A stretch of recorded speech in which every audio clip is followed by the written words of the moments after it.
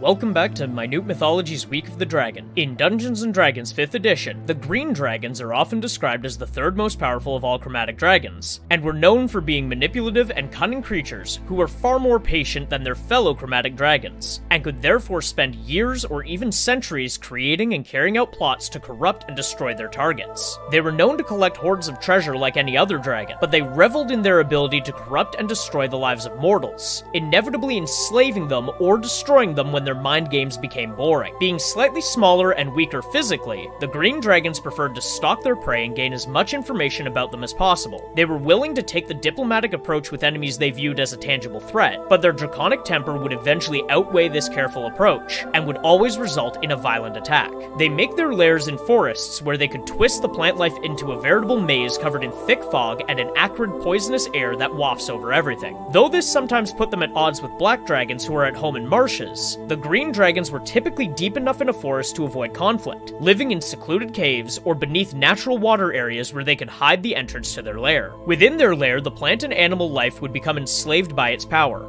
Birds and rodents would become its spies, and the plants would grow and shift to allow it passage, and to hinder the passage of outsiders. This allows the Green Dragon to toy with any adventurers that come into its domain, while also leaving no trace of its own movements, unless of course it wants them to know where it's going. The adult and ancient Green Dragons have a flight speed of 80 and a ground or swimming speed of 40. They have amazing stats, sporting a slightly higher intellect and charisma than some of the other dragons. They're trained in deception, insight, persuasion, stealth, and perception, making them masters of manipulation with the ability to move unseen. They have three legendary resistances per day and can use a multi attack consisting of their frightful presence, plus one bite attack and two claws. Alternatively, they can also strike out with their tail as a full action, though this is kind of a waste. Their main weapon is their breath weapon, a 90 foot cone that prompts a DC 22 con save, which if failed results in 22 to 132 poison damage. Like other ancient dragons, the green dragon also has three legendary actions it can use at the end of another creature's turn. They can detect, make a free tail attack, or for two out of three of the actions, they can make a wing attack that deals decent damage and can knock players prone. A green dragon's lair actions revolve around crowd control instead of outright damage. The dragon can choose a 20 foot section of the lair to erupt in vines, restraining creatures caught and turning the area into difficult terrain. The dragon can also create a massive wall of thorns similar to the wall of fire spell, dealing damage and creating a line of sight breaking barrier that costs extra movement and damage to get through. Finally, the dragon can summon a mystical fog prompting a DC 15 wisdom save that, if failed, charms the player until the next lair action turn,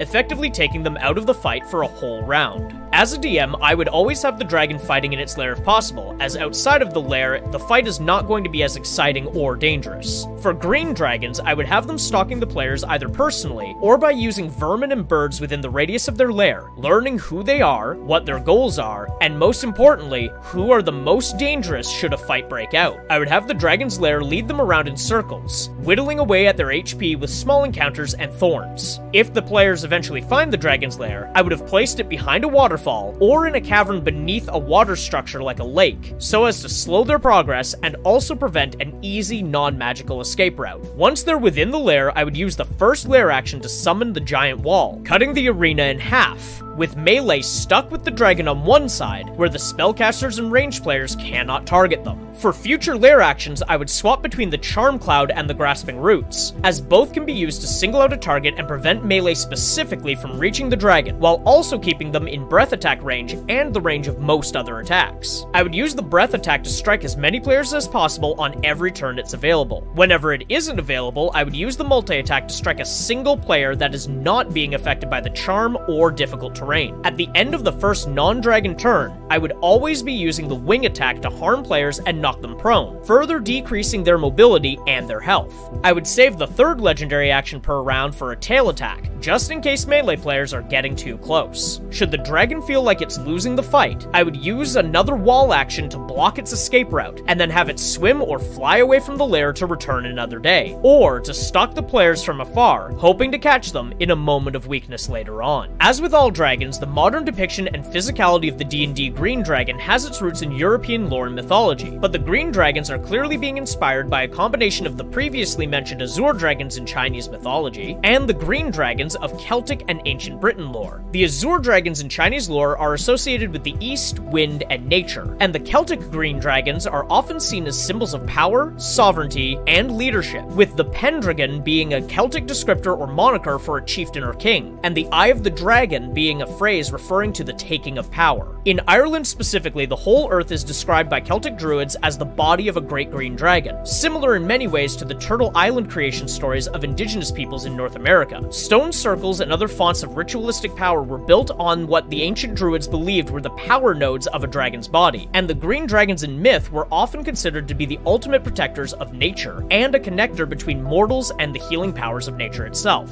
Beyond Celtic lore, many religions and belief systems use the color green to symbolize power, healing, nature, and a spiritual connection as well as freedom and balance in all things. This is why when we compare the green dragon of various mythological backgrounds to the D&D monster, we find that the D&D variant is simply an amalgamation of representations that has been warped and corrupted. Instead of being bastions of faith, healing, freedom, or nature, the green dragons of D&D are selfish and vain creatures who bend the force to their evil will, enslaving creatures and corrupting the very earth they walk on. Their very breath is poison, and instead of protecting nature, they use it to further their own evil goals, forcing that which was once in perfect harmony to be warped into a weapon of evil.